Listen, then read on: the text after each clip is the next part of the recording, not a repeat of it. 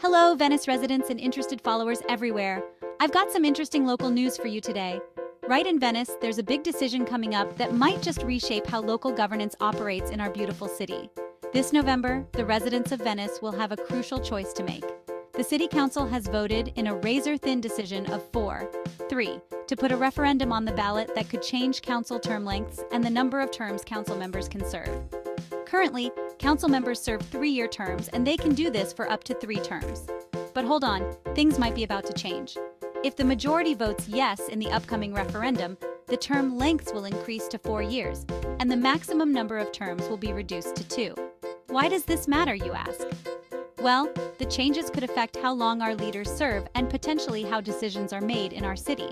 Some people argue longer terms could lead to more stability and less frequent elections, which means saving money and resources. Others worry that this might reduce accountability, keeping the same people in power for too long without enough check-ins from voters. Here's a bit of drama from the council meeting. Former Mayor John Holic, a well-recognized figure in Venice, made an impassioned plea. He urged council members to seriously consider and reflect on the opposing views of residents. He stressed how important it is that our elected officials really listen to their constituents. And there was a twist. Venice Vice Mayor Jim Boldt, who initially supported the changes, switched his stance during the meeting.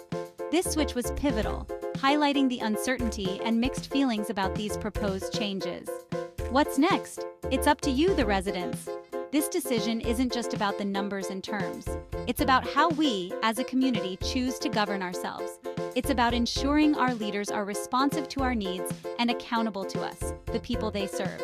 So, Venice, get ready to voice your opinion this November. Whether you're for longer terms and fewer elections, or prefer more frequent checks on your council members, your vote will shape the future of our governance. Stay informed, stay engaged, and most importantly, make sure to vote. This is your city, your council, and your decision.